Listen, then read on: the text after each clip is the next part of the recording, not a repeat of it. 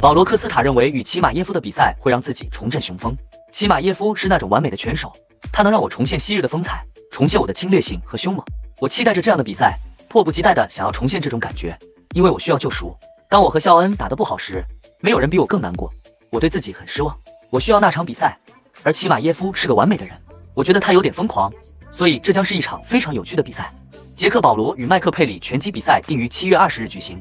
杰克·保罗原定于七月二十日在 Netflix 上直播与泰森对决，但比赛被推迟到十一月十五日在德克萨斯州阿灵顿的 IT 体育场举行。如今七月二十日的比赛重新预定，对手是前 UFC 现裸拳选手麦克·佩里。凯文·盖斯特鲁姆认为打不过第一罗就要回家了。我感觉自己有点走投无路了。最近我的职业生涯中，事情都按照我期望的方式发展，这次感觉有点不同。我需要一场胜利，让自己处于胜利的轨道。我认为输的人可以收拾行李回家，不再与 UFC 续约了。在过去的八场比赛中，凯文输掉了六场，UFC 战绩十二胜九负。劳尔罗萨斯希望在升重到羽量级之前先拿条腰带。升重到羽量级是必然的。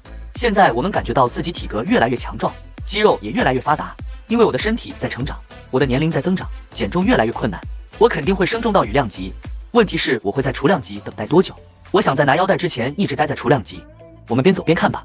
卡温顿因把主批评 UFC 给新人工资少而说他是个伪君子。肖恩改变了他的生活，现在他住在一栋非常漂亮的豪宅里，有豪车，银行里还有钱。他简直就是个伪君子。刚进入 UFC 的选手，薪水是一加一万美元，那是你在 UFC 的第一场比赛。我们来谈谈他现在的收入，他每场比赛的保证收入在五十万到一百五十万美元之间。如果新人第一次合同中以零比二落败，你没有赢得任何比赛，你没有给公司增加任何价值，也没有给公司带来任何收入。马特·布朗认为康纳再也不会回来了。我以前从不相信他会回来。当我得知他退出这场战斗时，我并不感到震惊。他再也不会回来了。他为什么要回来？